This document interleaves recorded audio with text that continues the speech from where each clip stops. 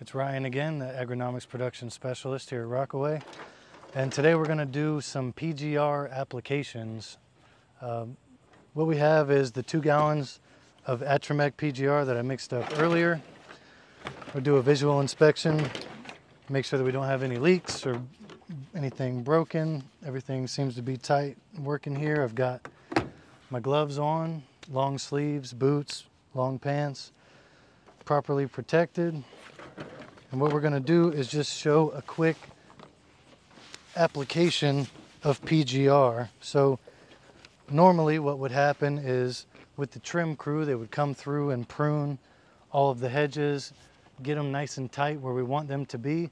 And the second step would be to come right behind it and apply Atrimmec, which is our plant growth regulator, which will more or less help freeze them in time where they're at.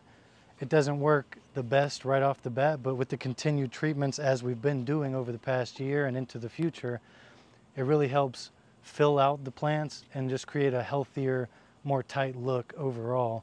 And it reduces the amount of trimming that we need to do on the plants.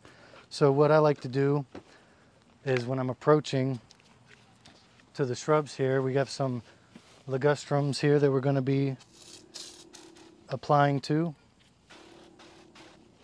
And what we want to make sure that we're doing is only hitting the target plant with our application. So you really don't want to get this stuff on any flowering plants or non-target plants that we're not going for now, as well as the turf grass.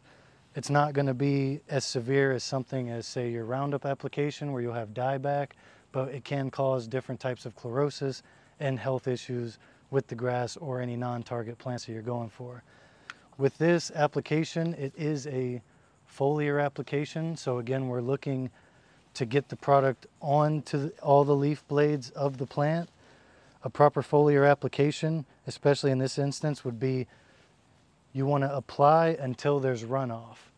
You don't want to have too little bit of product where you have just dots everywhere, and you don't want to soak the plant down where it's dripping all over the ground, uh, wasting product, wasting time, and you're over applying in that sense. So what we'll do is begin here, make sure that we're going up the side and down onto the back area.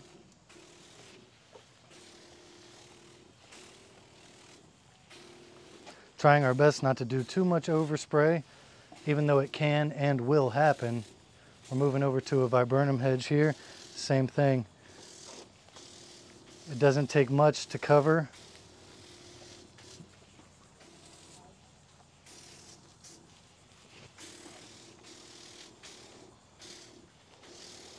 And you can see even just in this application here, we've got a lot of drift because we're up a little higher.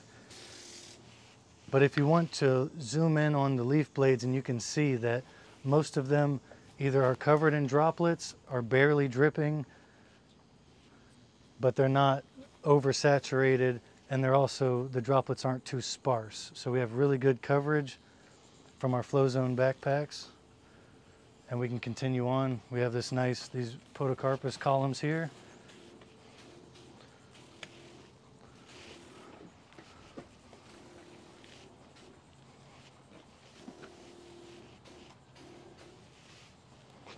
Same thing, you're gonna have a bit of overspray, but as long as the bulk of your application is going into your target, you're not gonna have too much issues here. And again, we want to make sure that we're getting the backside of the plants as well because wherever you're spraying is where you're going to have your effectiveness. If you don't get behind the plants, you're going to have a lot more to trim on the backside, creating a lot more work for you down the line. And it also is very apparent on the customer side when they look at the plant. It looks real tight, but someone forgot to cut the hair on the back of it. Thank you for joining me on today's training video. And the whole idea behind it is to help make you a better professional and have you more familiar with the tools and chemicals that you're working with throughout the day. So following the video, we're gonna take a short quiz on the topic of today's video. And then continuing the education, we're gonna go into some more videos on other topics just to help get you up to speed and so you can be the professional that we need you to be when you're out working on these properties with our customers.